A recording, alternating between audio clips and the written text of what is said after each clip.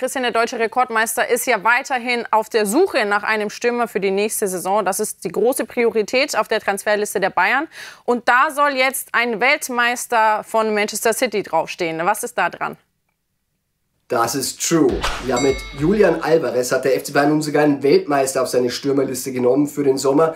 Neben weiterhin Harry Kane von Tottenham und Kolomoani nach wie vor Favorit auf die Stürmerposition beim FC Bayern.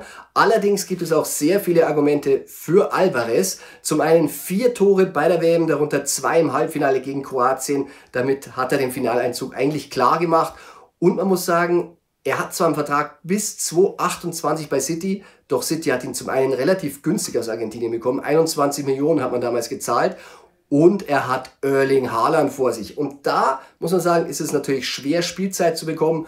Das ist wirklich ein gutes Argument für den FC Bayern einzuhaken. Mal schauen, ob es bei Alvarez klappt.